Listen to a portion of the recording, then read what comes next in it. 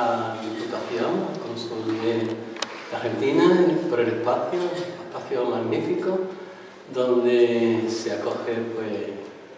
pues mi exposición actual. Como bien se ha dicho antes, no es mi primera vez que estoy aquí, estuve ya en 2006 con una muestra totalmente distinta o casi con la evolución esta de esos 20 años de aquella, pero que en realidad sigo siendo el mismo, como dicen, sigo contando historias, sigo utilizando una persona de, de mi vida cotidiana, personas que veo, trapichear por las calles, bien paseando, bien con, discutiendo, bien, sé, haciendo cualquier tipo de actividad que por una cosa u otra pues me llama la atención, capto un gesto, capto un, un instante, en, aquel, en, aquella exposición se llamaba un instante privilegiado,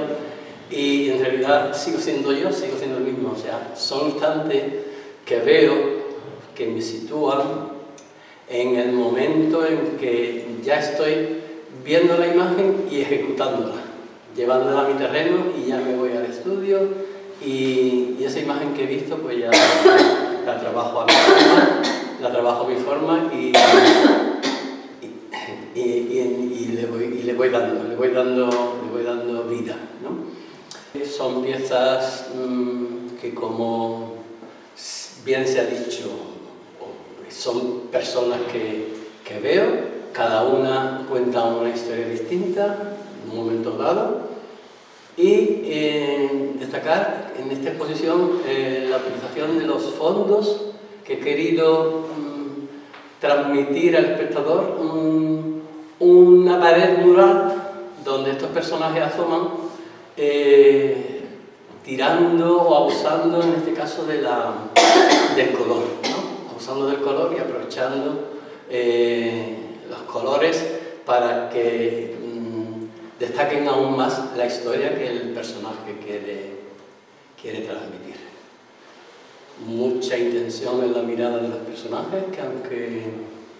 nos miran de una forma inquisitoria, digo yo, eh, todo transmite o quieren transmitir algo. y, poco más, deciros que, que la disfrutéis como yo estoy disfrutando de, de ella en todos los sitios que, que visito y que acudáis a, a, la sala en estos días y que podáis pues, bueno, pues, participar conmigo de mi trabajo. ¿eh? Muchísimas gracias.